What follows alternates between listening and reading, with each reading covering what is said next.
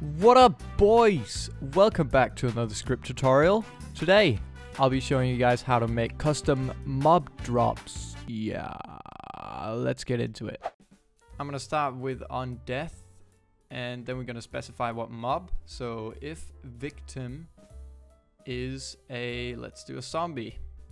Then we do an item, so we drop one, let's do a rotten flesh. And we'll just name it something. So named, uh, we can name it in bold orange. We can do something like rotten flesh. and we could do a lore as well, which will be, what should it be? In gray maybe, not good for your stomach. And we end it with at victim. We can also do a chance of maybe 40%. So we have some rarer drops.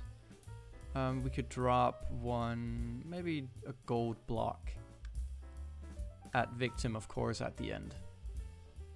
You can also go back up here and add if attacker is a player. So it only drops when the mob is killed by a player and not when it's killed by another mob. Uh, but it's it's whatever you want and then we copy the whole thing and we move on to Minehut. And once you're on your Minehut server, you want to go to File Manager, you want to go to Plugins, Skript, and Scripts. And you just want to make a new file and call it whatever. We can call it drops.sk and click Create.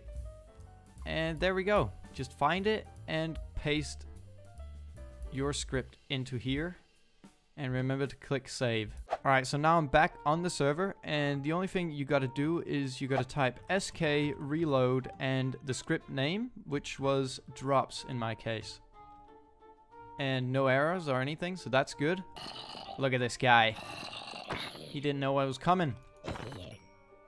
And look at that, we hit the gold as well. But as you can see, these only drop on top of the normal drops as you can see, I got a normal rotten flesh. And if you want to fix that, you can do game rule, do mob loot, and turn that to false. So then the normal mob drops won't won't drop. So if we kill another one, oh, we hit the gold block again. That's sick. Should only be a 40% for that. And there you can see, drops work fine. And yeah, that's pretty much it. I hope you guys found this useful. If you have any further questions, make sure to join my Discord server and ask them there, link in the description. And if you haven't already, make sure to subscribe. It means a lot.